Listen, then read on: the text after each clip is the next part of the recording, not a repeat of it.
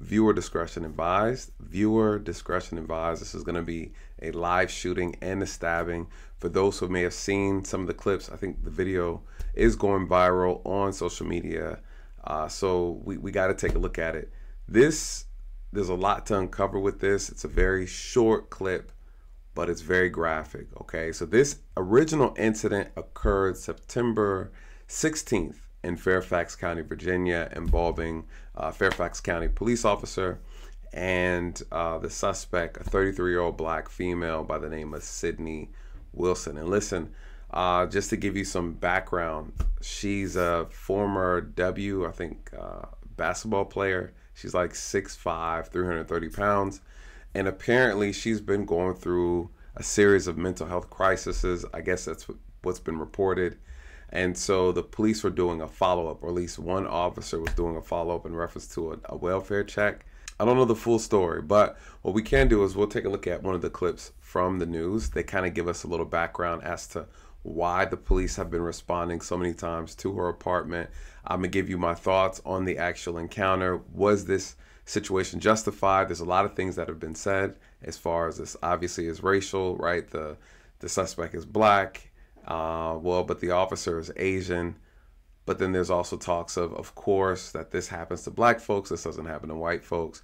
So we're going to also cover that as well. I'm going to give you my thoughts and my opinions on that, uh, my expert opinion. And then we're also going to talk about did the officer respond accordingly? Is this a justified shoot? What should have happened differently? Uh, and then also, what does it look like when officers are responding to these mental health crisis situations? should there have been a nurse present, would it have mattered? All right, so let's go ahead and dive into that. First, let's get some background on this incident, and then we'll take a look at the video. Hey there, Angie. This happened around 10 o'clock this morning here at this apartment and retail community on Sunrise Valley Drive in Reston. Fairfax County police say they were sent here this morning to do a welfare check on a woman in distress. We know that this woman has family and friends, and the loss of life is something that we all regret. Uh, our police officer acted valiantly. He certainly exhibited some grace under pressure. Fairfax County Police Chief Kevin Davis says he's seen the body worn camera footage. One of his officers fatally shot a woman in the hallway outside her third floor apartment after she cut him with a knife after he knocked on her door to see whether she was okay. She eventually, after a couple minutes, opened the door, was um, uh, obviously armed with a knife, and began attacking our police officer and slashing our police officer's face. I'll describe her physically. She's 33 years old. She's six foot five, 330 pounds. Chief Davis says Prince William County Police called them after hearing from the woman's mental health care provider who expressed concerns about her state of mind. This woman is a mental health consumer. We know that. We've interacted with her on a number of occasions this year. In fact, we interacted with her yesterday when she was yelling at a man who was walking his dog. Uh, we did not make an arrest because no crime had occurred. Police say the officer who fired his weapon multiple times here today is a veteran officer with crisis intervention training. We value life above all else, but we also value the lives of our police officers. And when our police officer is attacked by a woman with a knife, um, he has to protect himself and the community from that type of unprovoked violent attack. And our officer was the victim of an unprovoked violent attack today. Okay, so that's the background. We don't really know a lot, but what we do know is that this woman has been suffering from mental health issues for quite some time, and that she also had a previous run in with law enforcement because of her behavior, shouting and maybe acting unruly or disorderly in public. But the police found that she didn't commit any type of crime. So, in reference to how this incident first started, we know that the suspects healthcare provider was the one that contacted the police and urged them to go to the scene to check on the suspect. Okay, well, what does that look like and why did they do that? A lot of times in these cases, you guys, they will call and say, "Hey, listen, I have a I have a, a patient. They sound like they are going to harm themselves or they sound like they're going to harm someone else. So please, we need to do a welfare check to make sure one, they they're still alive and that there are no issues. We don't know what information was given from the suspect to the healthcare provider, which made the healthcare provider want to call and ask for uh, 911 support. One could argue, okay, well, why didn't they just send the ambulance, right? Or why they send the police? We don't know because we don't know exactly what was said. It could have been something saying, hey, I have someone tied up. This is the situation. So we really don't know enough details to understand why the police were called specifically and then not the ambulance. But because there's a history of her mental illness, we don't know what the history is exactly, but it's not uncommon for the officers to be sent out. But in this particular case, they sent a specific type of officer. They sent an officer who was CIT trained and certified. You guys, myself as well, I've been CIT trained and I'm also certified to deal with people who are in mental health crisis. Okay, it's a special unit, special training. In some cases, we get sent with a nurse or behavioral health therapist. Uh, every city, every department does theirs differently. Okay, so I've I've actually been on plenty of calls with them, and I've been on plenty of calls by myself. Uh, the training does help; it does make a difference. Some would argue, okay, well, why the officer and not again not a medical professional? I don't know what the specifics were, so it's hard to even speculate on that. All right. Um, the benefit of the training is you basically you handle yourself well. You know how to identify certain things. You know how to negotiate a person from harming themselves with the best of your ability, right? We know that using lethal force or any type of force is the last resort. A lot of times these officers make very good judgment calls. Okay, so you heard what the uh, the officer said as far as her stature. Okay, that's also very very relevant when breaking down this video. We're talking about someone who's six almost 6'6", 330 pounds. That's a big deal when you have somebody wielding a knife. So let's go ahead and get into the actual body cam video. And again, uh, viewer discretion advised. This is graphic content.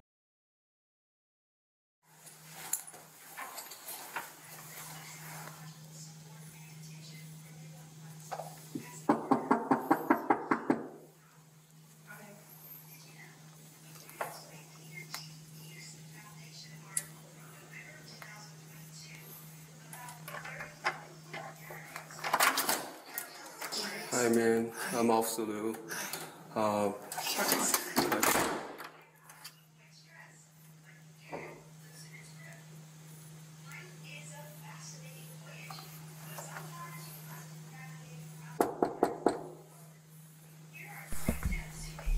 So right here, they're gonna just fast forward a little bit until we get her back to opening the door. I think like two minutes. How are you? oh, Jesus Christ. Back, Back up!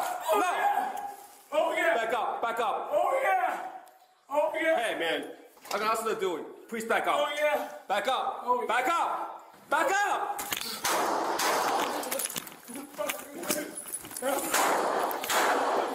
Back up.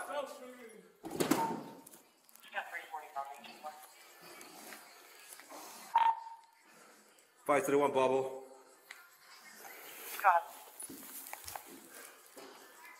Single one. Shots fire. What is your location? 322, apartment 322, 11830, Sunrise, Sunrise Valley. Okay, let's break it down. Let's talk about it. Okay, what what happened? What do we see, you guys? Immediately when the officer gets there, he's knocking on the door. He's here on a welfare check. He's trying to make contact. She opens the door and she says hello. Immediately before the officer can even explain, I guess, what his purpose there, she closed the door behind him. This is why we don't allow people to close the door in our faces while we put our foot in between the door and the and the door jamb, right? Just to kind of keep that open area that that we can see for our safety. We've seen this before. People come out with knives and guns and attack officers. In this case, that's exactly what happened. Two minutes go by. She opens the door, and then she says something, and then she starts lunging with a with a forward slash. I don't know if that knife made contact with him at that moment, um, but then you see him get distance, and from there he arms himself, and then she's stalking him down the hallway, walking slowly. You guys, this is something out of a movie, out of a horror movie. You can't make this up. All right, let's pull back up the actual clip, um, and let's run through it. Throw it in slow motion, and that way we can kind of break down what happened as it goes by. So as we're here, he's already made the. This is gonna be the second encounter. This is the part where she's gonna actually jump out and lunge at him. As you can see, she already has a knife in her hand. Okay. Now look at the officer's position, you guys. He's resting on the the actual door frame. You know, very little too comfortable, very lax. Um, not enough time to react, right? Not enough time to respond. This is a very, very bad position that he that he's in, um, and this is definitely unrecommended. This isn't a recommended position to be in as an officer. Okay, so let's go forward. Unknown if she made contact with that initial slash. Okay, what we see here is that he's able to gain significant amount of distance, right? And then from here he unholsters and we should see him pointing and drawing down. And she's just she's just stalking him down the hall you guys. This is something out of a scary movie like i said you know where she has the the knife and she's just right? And imagine again we don't know how tall he is but we know for a fact he's not six foot okay? She's six five she's 330 pounds okay um and not only that, if you remember hearing from the initial playing the initial sound, she's making these weird noises and she's also speaking and you can't understand what's actually being said. Now, I have my theory about this. I'm going to get into that after we cover this piece because um, I've seen something similar to this before my own experience. He draws the weapon, okay? Uh, and then now what happens? Let's look how close he lets her get. Now in this process, he's talking her, talking to her, telling her, "Hey, drop it, stop." You know, he's giving her commands. You know, you're dealing with someone who's been diagnosed with a mental health issue. She's armed. She's already attempted. She's already attacked you with the knife. She's already shown that she's capable of carrying out the threat, the visible threat. Uh, and this is a problem as an officer. He did right. He drew his weapon. I'm going to tell you where he made his mistake. Let's keep playing.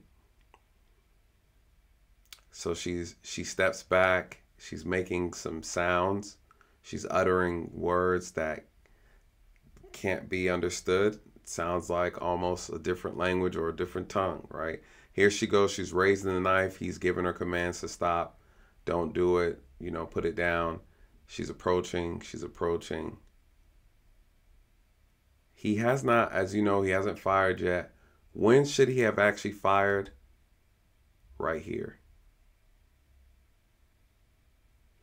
He should have laid her out right here. And I mean that respectfully.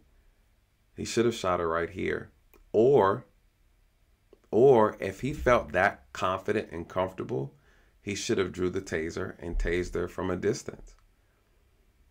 But allowing her to get that as close, you, you got to make a decision as an officer. If you feel confident that you can deliver the taser, deliver the pepper spray before they can make contact or close the distance, then do it. But if not, no, he could have in this moment, he could have prior to this, her getting this close, he could have tased her.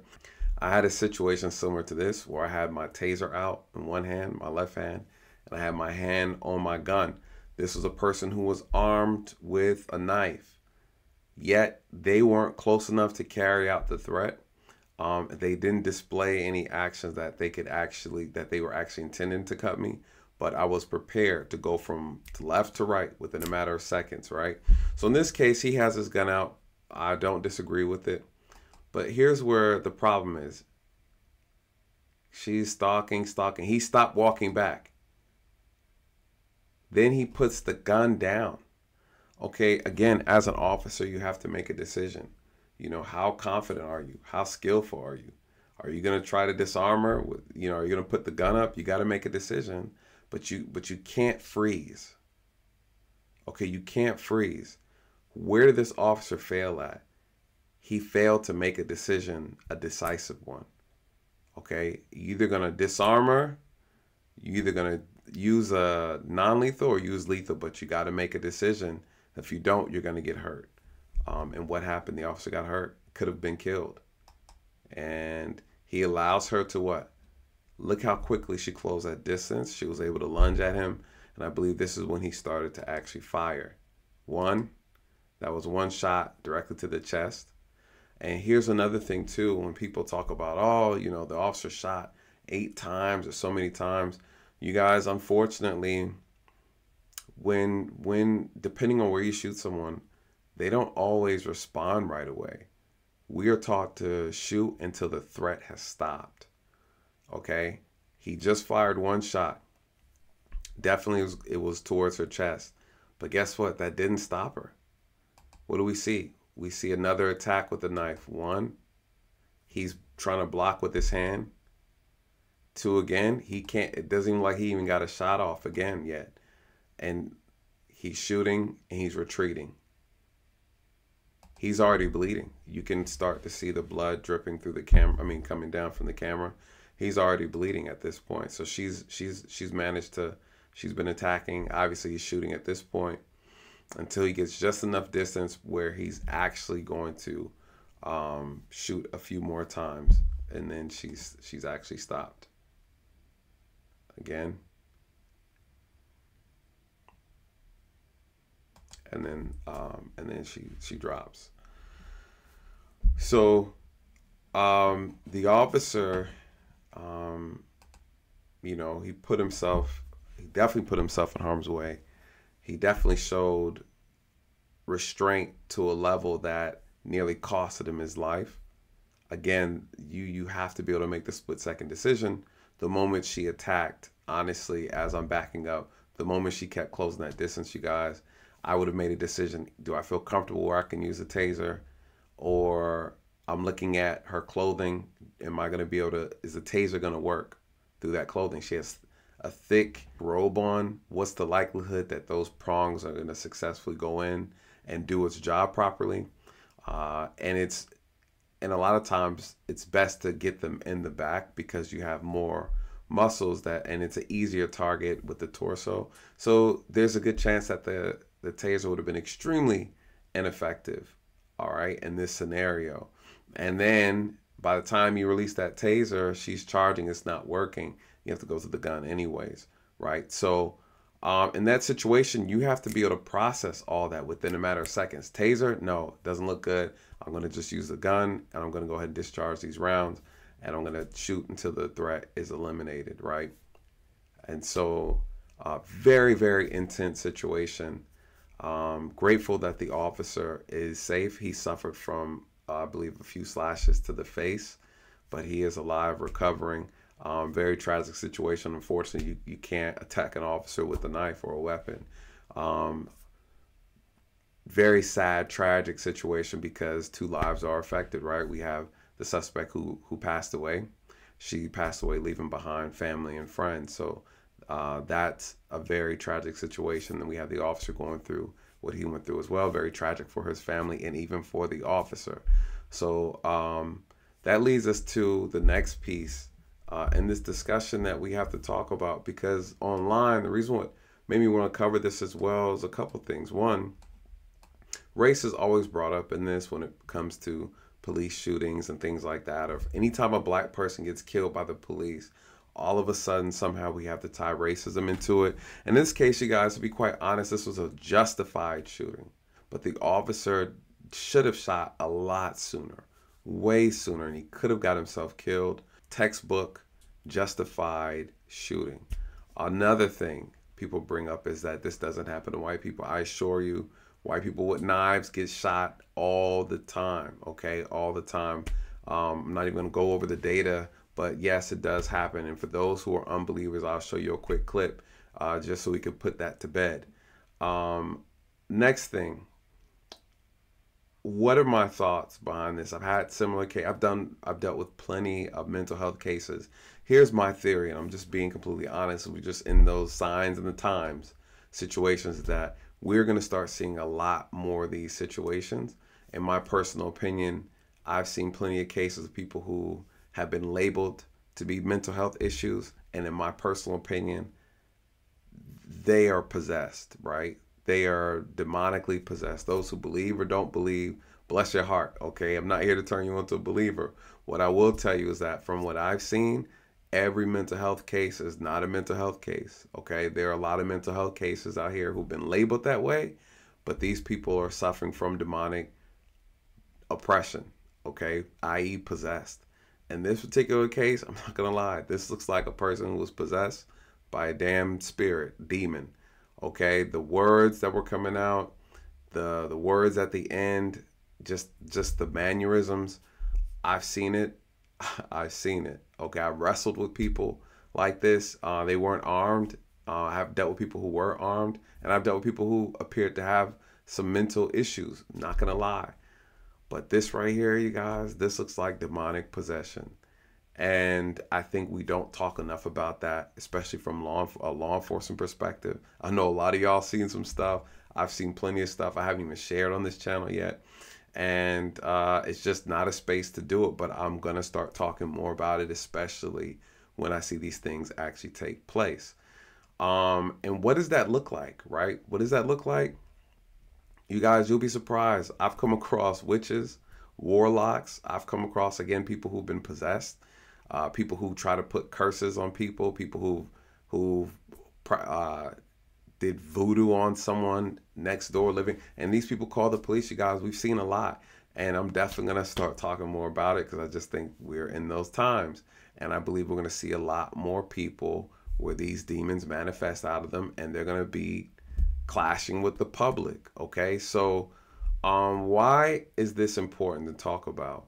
Because what I've noticed and experienced, I've seen a lot of people who, you know, we look at these folks and this is a beautiful lady, all right, a tragedy, okay. But here's the thing: there are people who live lives, you guys, that, you know, we think it's a fairy tale. We think the things that they do is just kind of like hopeful and you know. Uh, sprinkling fairy dust okay but there's people out here grinding stones and praying the moons and they're doing all type of stuff inside the house. Okay, I've been in hundreds of homes. I've seen a lot of stuff. And I just think that we're at a time where people are to, these things are to start manifesting out of people because they're out here playing with stuff that they don't really understand or they do understand. And then they get, they get taken over. Okay. So this is a real, real thing. And, and we don't know, I'm not claiming that she's, she messed around with stuff or whatever, but I'm just saying I've been in people's homes I've seen their crystals, I've seen their powders, I've seen their little books, their notes, I've seen the stuff they have on their walls, and I see their tattoos. Okay, and so for those who know, know, and these things you you talk to them about little episodes they have, and they describe certain things, and it's like okay, for those who have ears to hear. So listen, just be mindful. I think things are gonna start manifesting. Um, and this particular situation it just looks like demonic possession. Um, couldn't understand the language that she was speaking, the tongue that she was using. And yeah, I can, I can only imagine. I'm curious to know what, obviously, we can't get access to uh, anything from her healthcare provider, but I'm curious to know what type of things she was saying or seeing. And I guarantee you it's going to align somehow spiritually, biblically with with you know some type of demonic creatures, angel, angelic creatures, dark figures, and things of that nature. I've seen it all too often, and I know there are other officers who can attest to this because we we've just seen too much, you guys. So, anyways, um, tragic situation. I'm glad the officer is safe. God bless uh, him and his family. Sorry for the for the loss um, as well um, from the suspect. Again, at the end of the day, no one wishes to harm anybody, right? So this is a very tragic situation across the board.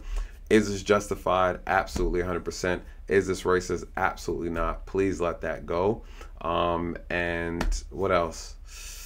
The officer did his best to try to preserve life, even at the cost of his own almost. So, uh, shout out to that officer. We're just giving our honest critique of the situation. Any questions and comments, please leave below, you guys, of your thoughts. Uh, I want to know what you think about the whole case, even the theory of it being possibly a demonic possession situation. But anyways, let me know your thoughts below. Like, comment, share, subscribe, join the channel. Love to have your part. And with that, good night and God bless.